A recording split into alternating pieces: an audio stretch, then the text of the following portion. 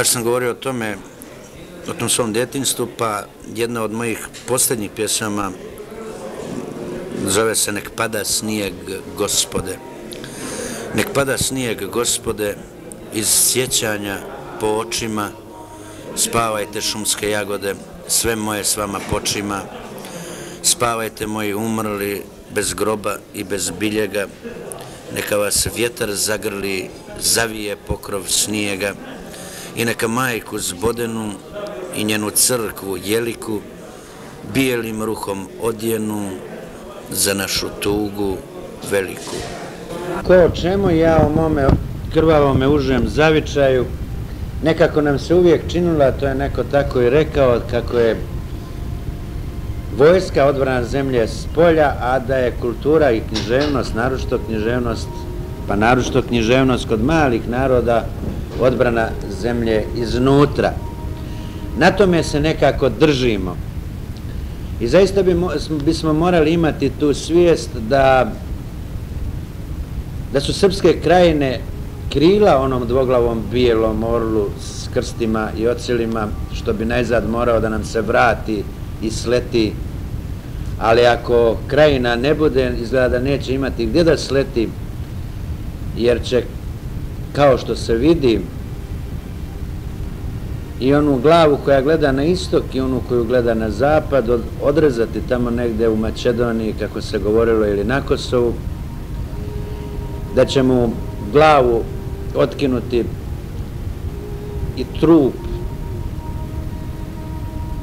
i noge i krila bez te krajine očerupati i da će prvo u Sanđaku pa na Kosovu u Sanđaku ili u Raškoj kako se to zove sve to potkidati i da će od svega ostati od ove naše uboge zemlje samo mrtvo truplo Beogradskog pašaluka.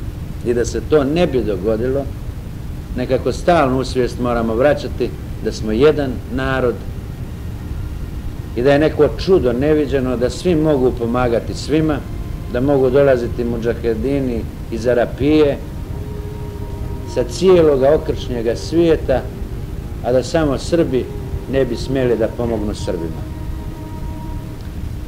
Mi to moramo definitivno i jasno svijetu kazati. Ako on odlučio da uništi 10-12 miliona Srba, neka uništi ako može i ako u takav glib hoće da upane i takav grijeh da ponese ali da 10-12 miliona Srba sami rade na tome da sami sebe unište e to je jedna stvar o kojoj se moramo zapitati. No, bolje od toga svega kako bi popravi utisak na kraju pri nekoliko sedmica istoričar Čedomir Popov u razgovoru sa Miloradom Ekmečićem istoričarom a ja bih rekao više da se više bavi recimo filozofijom istorije Kmečić, govorio o ishodu ovoga ustanka u Bosni i Hercegovini i rekao može biti onaj strašan, dakle najgori, ako bude slom, može se računati da milion ljudi Srba krene u egzodus i to u Srbiju. I sa tom činjenicom se valja suočiti. Volim da kažem da, da je bjekstvo iz Bosne i Hercegovine desetine srpskih intelektualaca u poslednje tri decenije najavio ovo što će se dogoditi. Kao da su na nama, a moja beznačajnost je tu zaista beznačajna, trenirali ono što će primjenjivati kasnije kolektivno. I zato ću večeras pročitati neke od tih svojih stihova kojima sam se branio, jer nisam drugim imao čime, dok sam tamo živio. A ja sam Drinu pregazio 1982. godine, da je bilo sreće, trebao sam i ranije. Iz Nove Hajdučije, stidi se, ti si postao dekadent, uživaš u nesreći, njeguješ očaj, migrene, depresije, diverzije, gospodski, nema šta. Nebo je prazno, sofisto, i ti ga doživljavaš, kao razdrti kišobran. Zemlja je sipko, živo blato, živo jer tonu živi. Između bivšeg neba i nesigurne zemlje lutaju žalosne sjene iz pakla otjerane, a ti se opijaš koktelijaka pića kuršumi izmišljenim. pirotehnika, nebeska gimnastika, kupleti ljekoviti u pomjereni dan, ne laži, nije ti loše, nek tuku, ne udaraju klince pod nokte i u dušu, ako je počem ima. Naprotiv, komotno je biti izopšten. Umjesto orlova na Kavkazu, što zatrije i glad, gle lešinarke, gospe, ljubavi vične, sestrice nesretnice, oko tebe se jate, ali ti si školovan gad, ti ne pripadaš ničem. I mada si na ledu, ti veselo se kližeš. I kada si u ringu, ti simuliraš nogdaun da sjajnog li meštra novije hajdučije, što lijevijem okom progleduje, desnijem se brkom nasmijava. Proljeće malo dokumentarnih detalja. A eto, zastrašujuće je nestvarna krotkost ratara i blagorodne su ruke seljaka kada spuštaju krompir u kućicu istim simboličnim pokretom kojim spuštaju mrtvaca. Jesu li to prvi, prvi hrišćani s jajncima na koljenima, maloumni i urodivi? Iz promrzlog krompira, iz prokrlijalog mrtvaca, lajicima se otkriva čudo masovnog vaskrsenja – ovoj klasičnoj slici umjesto učenih magli treba dodati malo dokumentarnih detalja. Vazduh je sumnjivo blag i opasno zapet.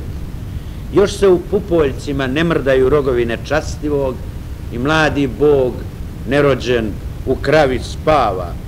Idilično je jutro i cvatu georgike. Georgike su pjesme o zemljoradnji. Kad umu je život uskaču službene sablasti, iz loših kriminalnih romana, dva tradicionalna policajca, dva batinaša, čaša krepkog nasilja, ništa osobito, balkanska varijanta, bosanska pastorala. U tamnoj rasvjeti, između neba, zemlje i vode, go i razapet čovjek, pezaž nadlijeću orlovi, bije pećinska tuga, nad krotkim njivama opet činodejstvuje sunce i dvije srećne gliste nepresječene vijugaju. Naš sagovornik je pesnik Rajko Petrov Nogo. Rajko, tvoje pesme sa posvetom nekom sabratu po peru od kulture, od umetnosti su redke. A mnoge ljude interesuje upravo ono što je redko kada je jednom prilikom Marina Cvetajeva napisala, posvetila pesmu Rilkeu, koja se zove Novogodišnja, neki su tu pesmu okarakterisali i kao autobiografsku.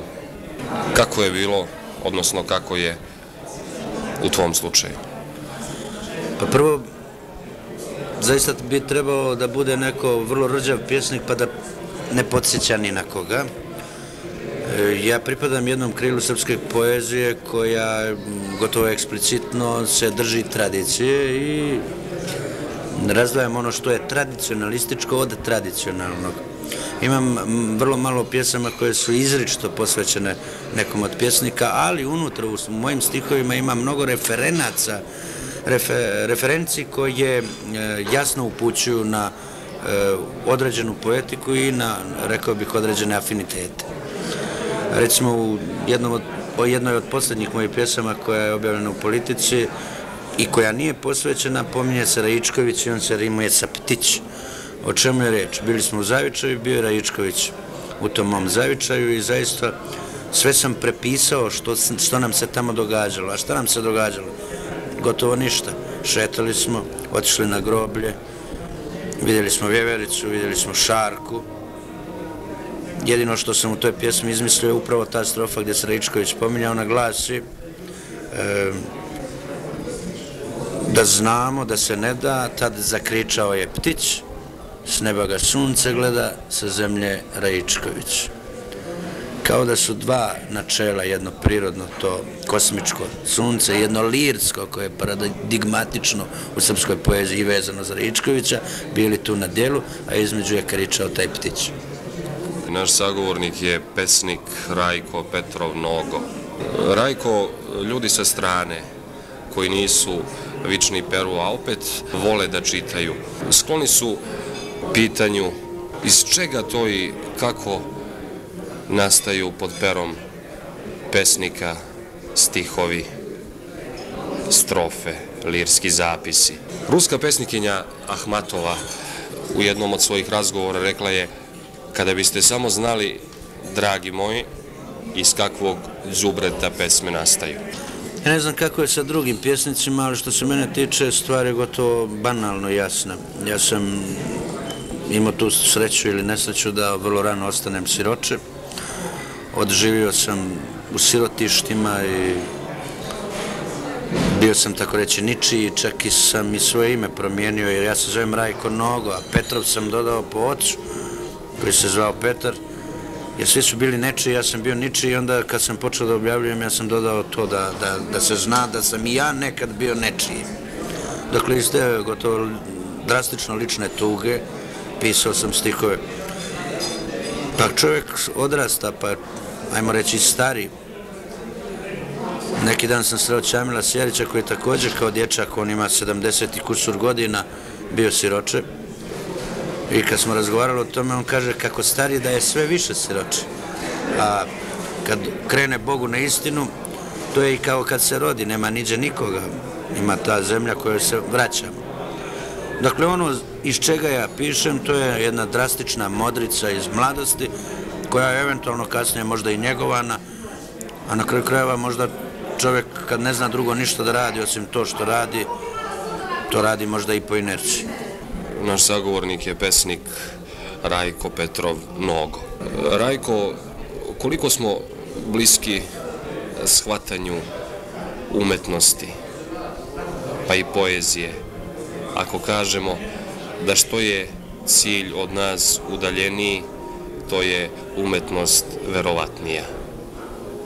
Pa ta stvar može da se okrene onako Ljubomir Simović je mm, idući za onim iz naroda, parafrazirao i napravio jedan efektan svoj stih, čuveni stih, koji glasi ko, pogod, ko pogodi cilj, promaši sve ostalo.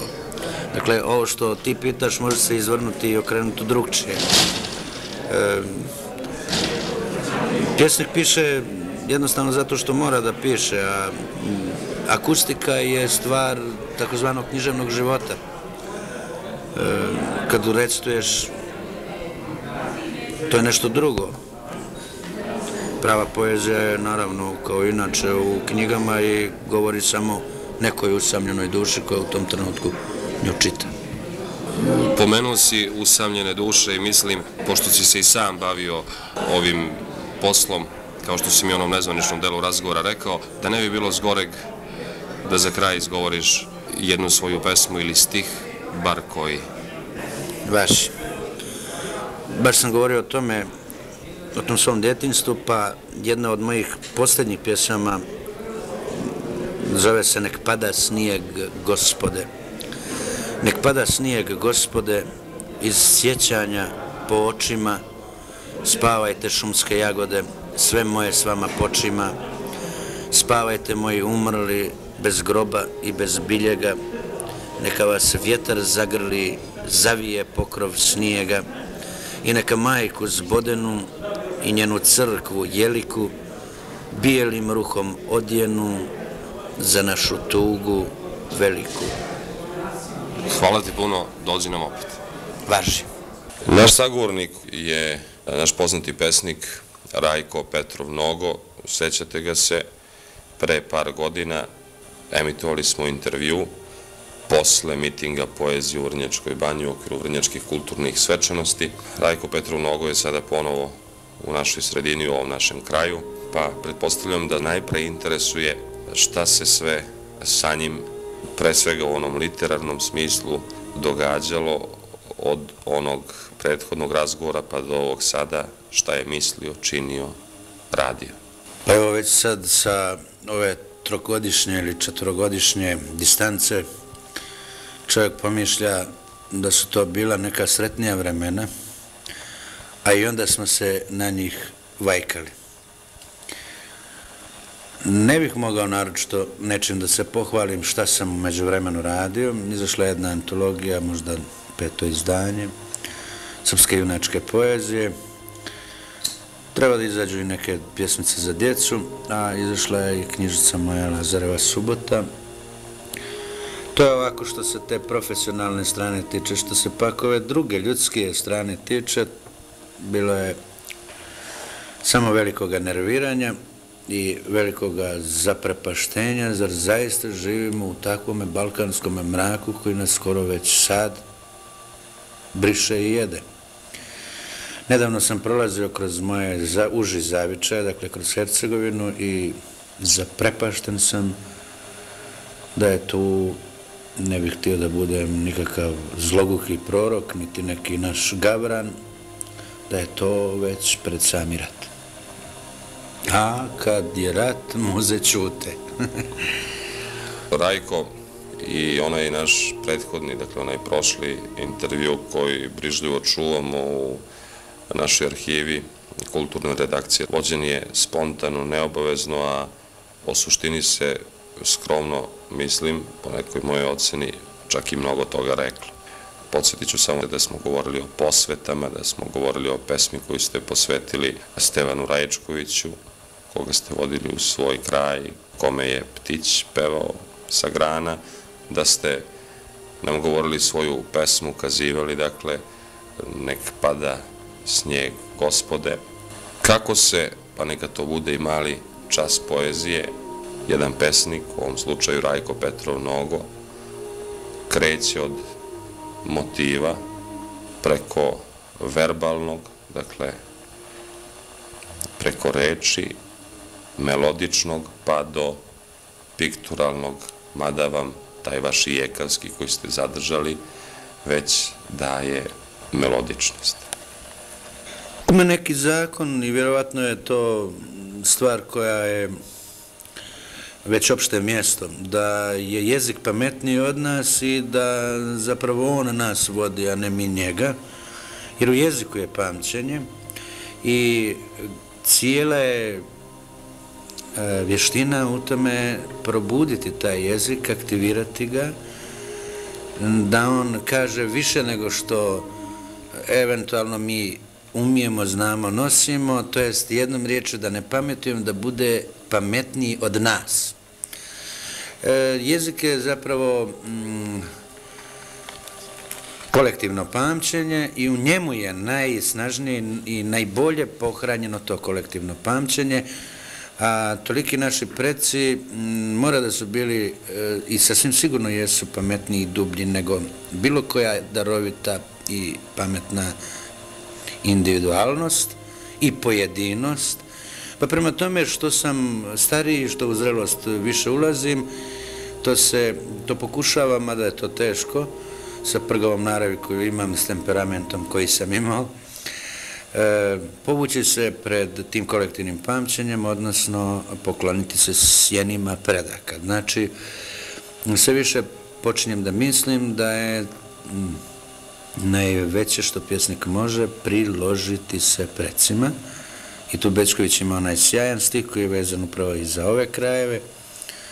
Od Ljubostinje preko do Sopoćana, do Studenice, do Đuđevi stupova. Dakle, e, što ćeš novo ako imaš staro, prije sviju i svih napisano koje ti je svak napamet znao, pa se možeš pridružiti precima, iste pjesme, istim riječima i suzama na istim mjestima.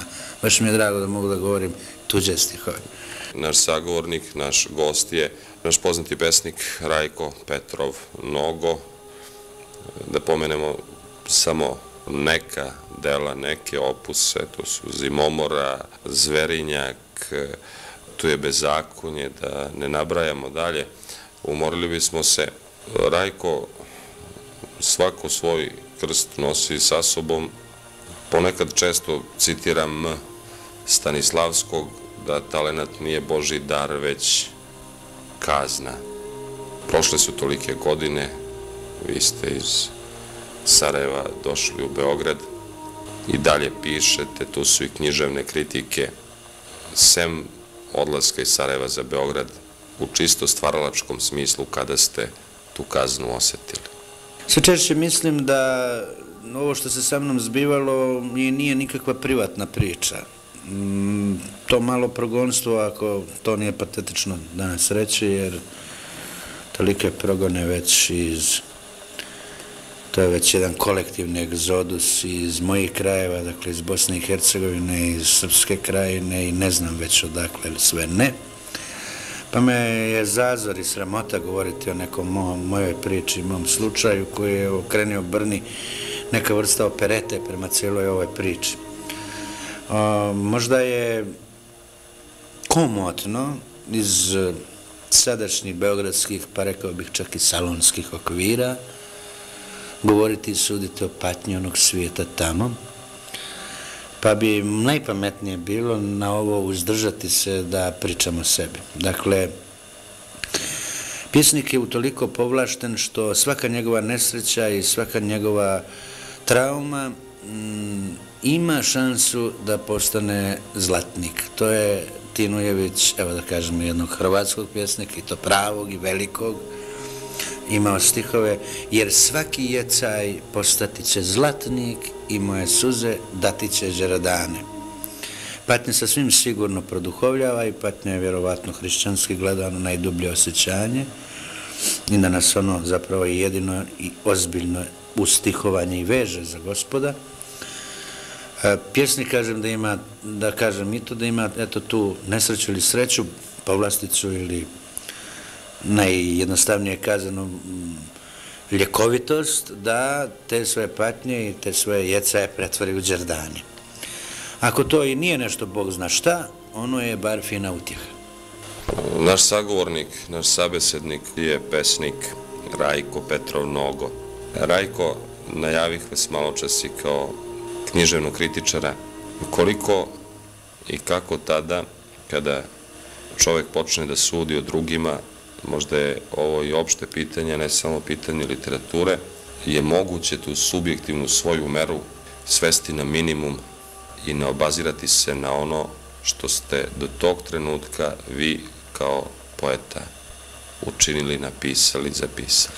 Kad sam bio mlađi, volio sam da sudim, ne samo u književnoj kritici, nego Boga mi i u životu i naravno veoma sam se opario što se kod nas kaže, znači štrecnuo sam od sebe takvog.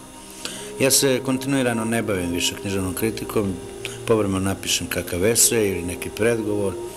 Dakle, pišem po afinitetu i pišem samo o onima ko, s kojim, eh, gdje zatreperim i što mi se sviđa.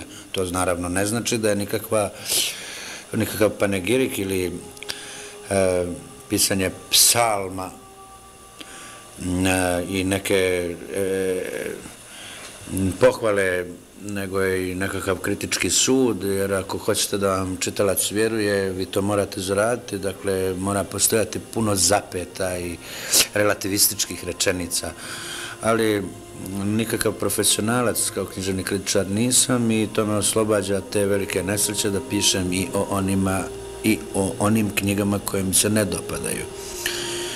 E, šta čovjek može da kaže o onome što mu se ne dopada? Da mu se ne dopada i tačka. Zašto bismo dokazivali i zašto nam se ne dopada? Ali, ako hoćemo da kažemo da nam se nešto dopada, e, tu treba reći još koju riječ i utemeljiti taj svoj sud i tu svoju pohvalu. Rajko, da ostanemo još u domenu, u sferi i na relaciji i odnosu kritike književne i samog literarnog dela. E, šta reći, mnogi pesnici, pisci, eseisti, prozaisti su izjavljivali kada neko od njima napiše nekakvu književnu kritiku ili osvrt, bar ili komentar, da čak oni dok su to pisali sami nisu primetili da su napisali to što je kritika obradila. Odnosno, neka se ponovo vratimo na mali čas poezije, ako tako možemo da ga nazovemo u našem programu, znali pesnik i je li svestan tog trenutka, a imam svoj sud, svoje mišljenje, mislim da nije, kada je, na primjer, evo, nekada su se to zvale stilske figure, sada ih zovu jezičko-stilskim sredstvima, što mislim da je opet loši naziv, koju od njih upotrebi?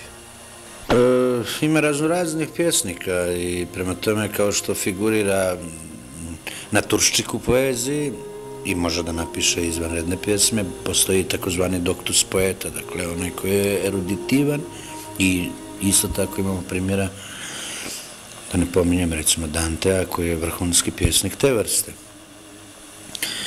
Iz ovih naših skromnih balkanskih okvira, ako tu stvar gledamo, mm, ima jedna zabluda koja je ovako uvriježena uveliko, da je recimo deseterac, naš ključni stih, naše jedine i velike klasike, dakle naše epske rapsodije, neki prirodan i spontan stih. To je zapravo visoko stilizovan stih visoke kulture.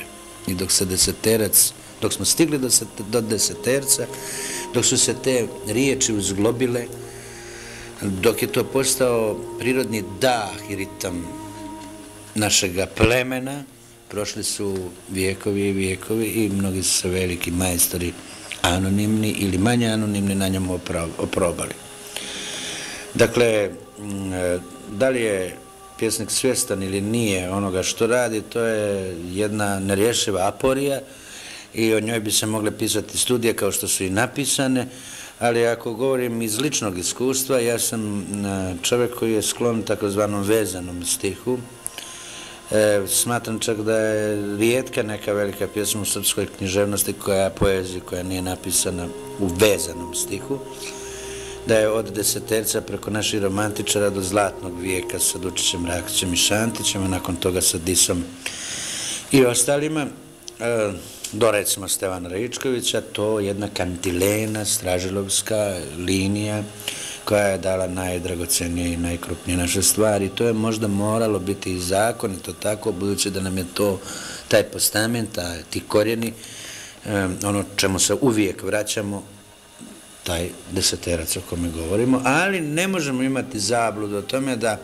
su to spontane stvari. Onoliko, Dučić je cinično govorio da je naš svijet vo vreme ono neuporedivo više pisao nego što je čitao. Imao je također jednu, ovako jedan, isto tako ironičan komentar, da odista treba biti veoma rđav pjesnik pa ne podsjećat ni na koga. Što sve govori da je originalnost u književnosti, a pogotovo u poeziji, jedna pogubna priča i mi smo taj rukavac našim nadrealistima na svakojak način izživjeli, uglavnom porazan i da su se naši nadrealisti ostvarili samo kad su se vratili tradiciji, kao recimo jedan Rasko Petrović ili Oskar Davičov to je recimo sad odiozno ime ili je bilo, ali čovjek je mrtav i Rani Dović je jedan sasvim sigurno veliki pjesnik. Dakle, ako bih rekao, ako bih govorio o tome kako ja pišem, nekoga, neke velike zakonitosti nema, ali ima nešto što se zove predverbalni e, ritam koji osjetim, a tek e, taj ritam se kasnije verbalizuje ili prosto rečeno popunjava riječima. E, ništa se tu do kraja ne da objasniti. Poezija je prosto jedna zagonetka, jedna tajna kao i sam život koji je prepun banalnosti i kad kad ozaren svijetlim trenucima, kao što imate obične dane i praznike, ali evo ovdje nas jezik opet čeka, praznik to znači prazan dan, čime li ga popunjavamo. Moja se, recimo, posljednja knjiga zove Lazareva subota. Ako budem jedan izbor kasnije pravio, nazvaću ga Lazareva subota i drugi dani. Dakle, Lazareva subota je moja krsna slava, to vučem iz detinstva, to su ti trenuce ozarenja, ali nije bio, nije bilo ni djetinstvo satkano samo od Lazarevih subota. Cijela jedna godina se morala sačekati i proći i drugi obični dani da bi došla Lazareva subota. I sama jedna jedina pjesma sačinjene od vrhunskih stihova, ali i veznih, ponakad i krajnje banalnih. I nikad nisam našao neku zakonitost koji je to omjer tu najvažniji. Ako biste napravili pjesmu isključivo od velikih, veličanstvenih, sjajnih, teških, blještovih, glamuroznih stihova, oni bi se paradoksalno osuli u prozu i takvih primjera ima. Dakle, to zaista ostaje tajna i to je jedna nerješiva formula. Rajko, za kraj ovog našeg razgovora, možemo li da čujemo bar deo tajne iz spisateljske radionice Rajka Petrova Noga? Morat ću ispričati jednu kratku pričicu.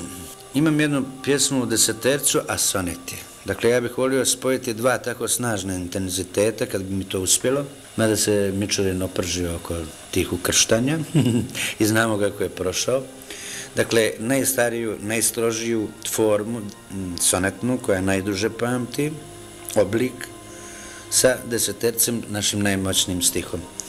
I napisao sam Njegoš u Veneciji, e, jedna varijacija na Andrićevu temu, gdje je po sjećanju Ljubene Nadovića, Andrić govori o Njegošu koji je išao u Italiju da se od grudi izvida, a bolovo je od srpske istorije i kako se ogledao jednom venecijanskom ogledalu, a stalno je mislio na srpsku istoriju i srpske pejzaže, tako da od Italije, od Venecije nije mnogo šta vidio. uzdahnuvše, ali se mi Srbi narobova smo. I e, Njegoš, Andrić govori o Njegošu kao u tom ogledalu dok gleda svoje lice i taj svoj mrki brk da mu sablasno tepa E, crni Brčeć, da ćeš okapati da li u Mostar ili u Travniku. Ali ja insistiram da se u ovim mračnim stihovima treba osjetiti ta razdraganost a to znači da je velika sreća pridružiti se precima. To sam i na početku rekao. Šta to znači? E, u tom ogledalu kao da je Njegoš ugledao i prepoznao i svoju glavu među glavama biranih njegovih predaka koje su stajale e, na nekom od vezirskih kolaca. A vezirski e, vezirske kule su se kitile, kao što je poznato, tim e, čuvenim hajdučkim glavama. E, paradoks je u tome što se takav završetak čini makar i zaumnom nekom srećom, jer se prilaže i ide po jednom poredku koji nam je pisan. Iz tog vremena Njegoševog, pa čak i Andrićevog, prebacivši se u ovo vrijeme, ti bi stihovi glasili onako kako ja to vidim ovako.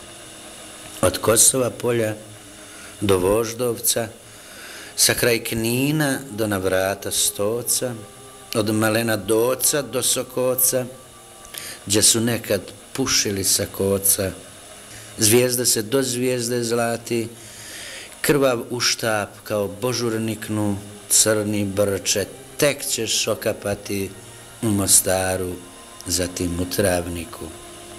Pjane glave, razvile barjake, pleme naše u lokandi pati, tu omrkni onamo osvani, Ljulja majka uroše nejake, međ njima ćeš mene poznavati po sonetu, po mojoj apsani. Hvala vam puno, e, Rajko, želimo vam da na kraju ovog razgovora ostanete u jednoj jedinoj apsani, neka to bude poetska apsana, apsana literature i dođite nam ponovo. Najljepše se zahvaljujem na vašem sjećanju, računajući da ima još pokoji slušalac koji nas je slušao i prije tri godine živjeli. Stvari su jednostavne.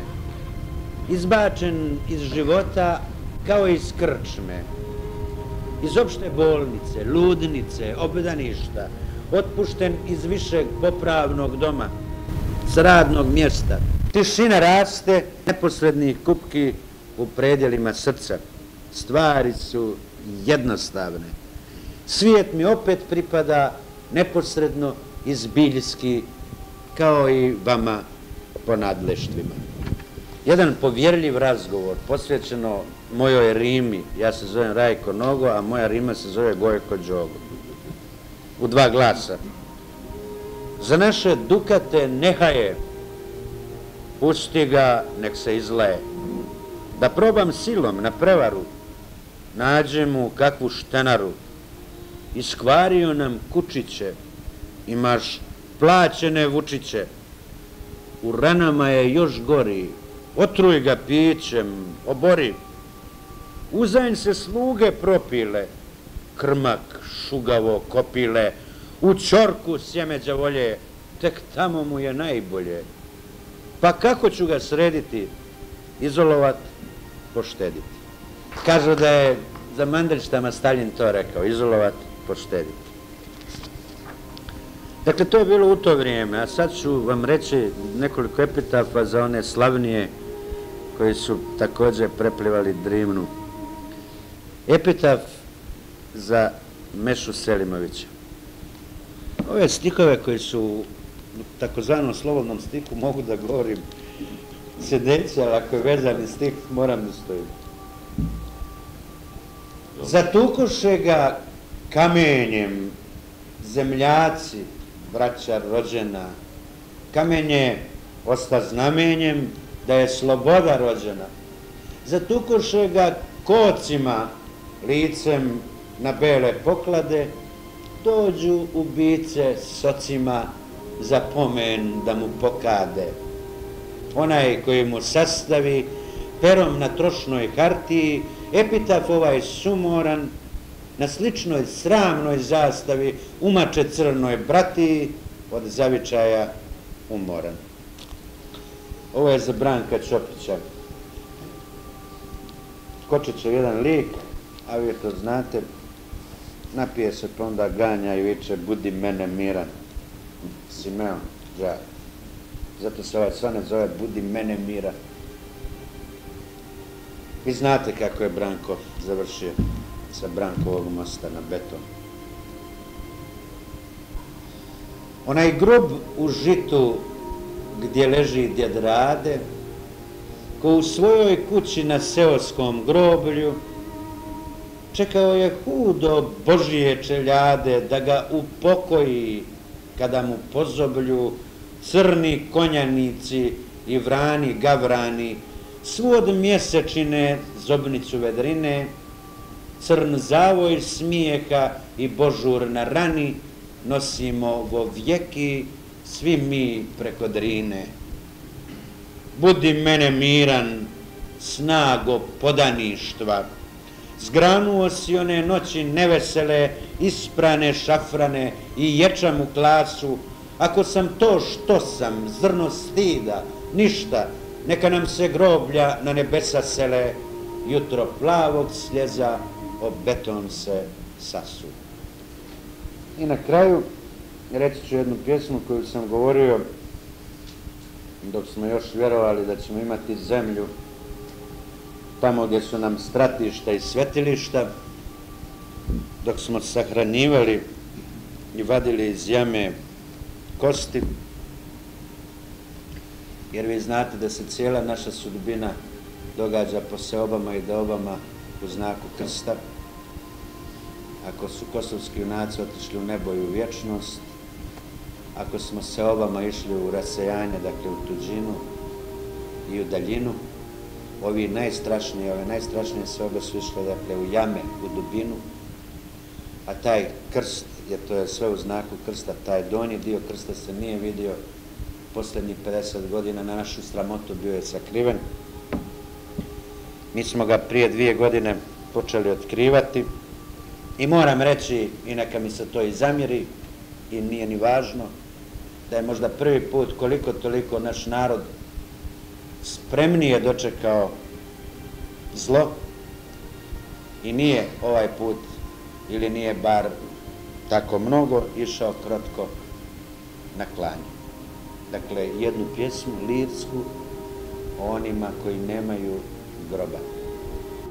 Baš sam govorio o tome, o tom svom djetinstvu, pa jedna od mojih posljednjih pjesama zove se Nek pada snijeg gospode.